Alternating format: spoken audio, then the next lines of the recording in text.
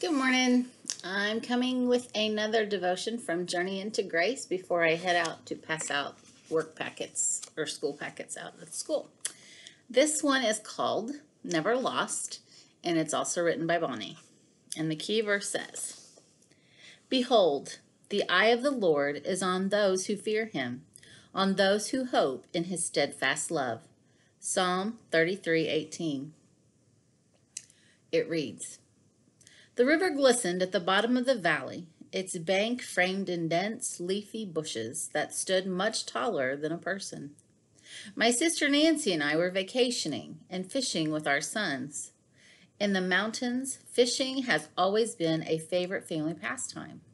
But the fish weren't biting.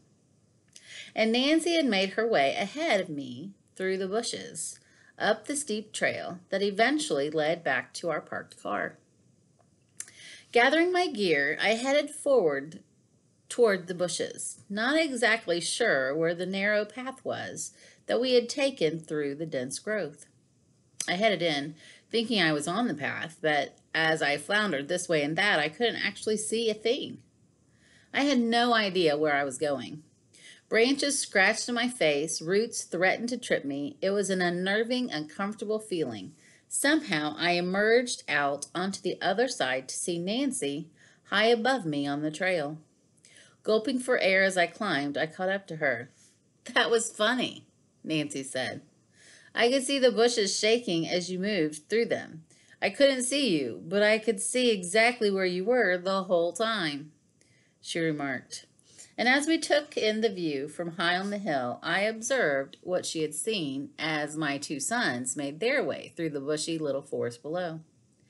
I couldn't help but think of God looking down on his creation, on me, as I so often struggle to make my way, totally uncertain of my path, and unable to see anything except the crisis before me.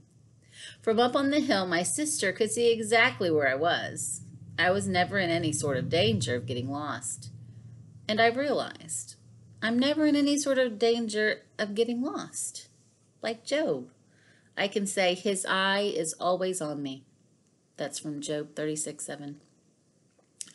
When I'm unsure, His eye is on me. When I think I'm lost, His eye is on me. When I think I'm alone, His eye is on me. So today's reflection is In what area of your life do you feel the most unsure, lost, or alone? Let's pray. Father God, we thank you that you are watching us from on high, that you see exactly where we are each day, and that we are not alone.